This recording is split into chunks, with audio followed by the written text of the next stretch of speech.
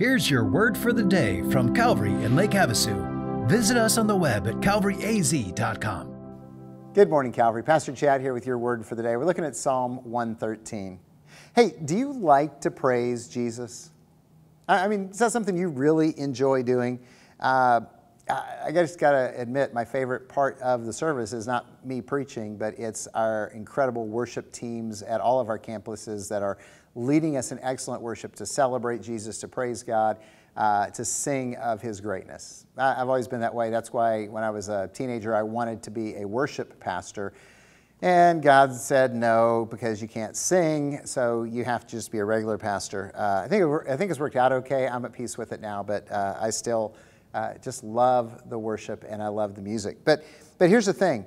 Uh, I want you to love to praise Jesus because if you're if you don't get excited about praising Jesus, you're probably not ready for heaven. Just saying. Psalm 113 says this uh, Praise the Lord. Praise, O servants of the Lord. Praise the name of the Lord. Blessed be the name of the Lord from this time forth and forevermore. From the rising of the sun to its setting, the name of the Lord is to be praised. I mean, the psalmist says, Look, we're to praise God.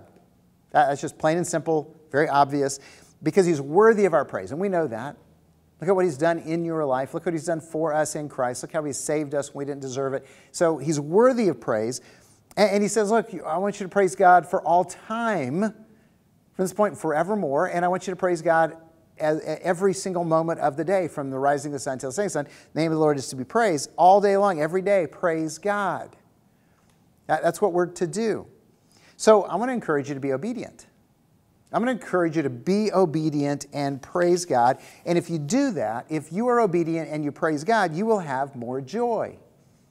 How do I know that? Because, uh, look, your mind is going to be taken off of a lot of your problems, out of your worries, and you're going to be celebrating who Jesus is.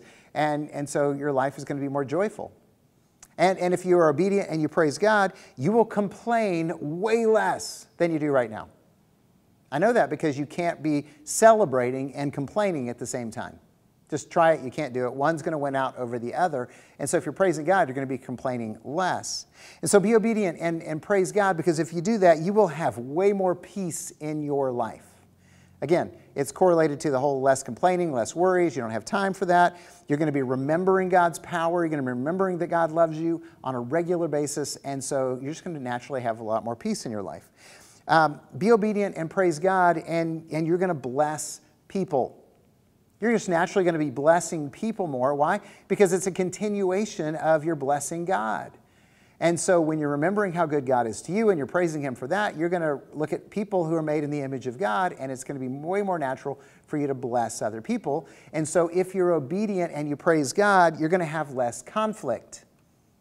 Ooh, now I got your attention, right? How are you going to have less conflict? Because if you're blessing people all the time, people don't want to fight with people who are blessing them. They actually just want to appreciate them.